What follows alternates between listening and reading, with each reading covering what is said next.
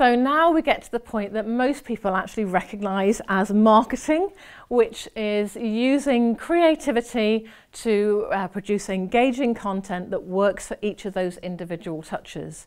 So now is the time to brief an agency that might be a design agency or a digital agency or somebody that specialises in email marketing to really hone each of those individual touches and get creative and get engaging and making sure that each touch works as a standalone uh, product on its own.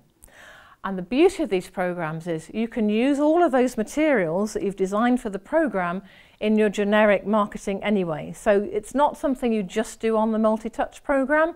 These pieces of useful marketing activity, things that work and convert customers, great, use them more generally for less targeted activity as well.